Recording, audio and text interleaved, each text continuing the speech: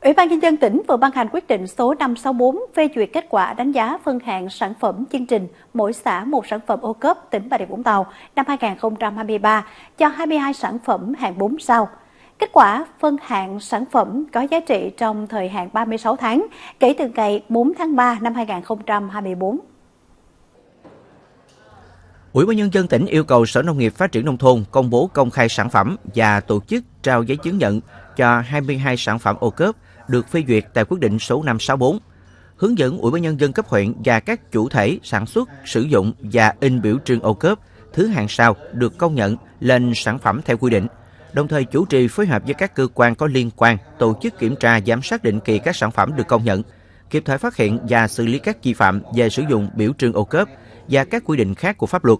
Các sở ngành liên quan hướng dẫn hỗ trợ Ủy ban nhân dân cấp huyện và các chủ thể sản xuất sản phẩm ô cốp tham gia xúc tiến thương mại, kết nối cung cầu thị trường, đẩy mạnh tiêu thụ sản phẩm ô cốp.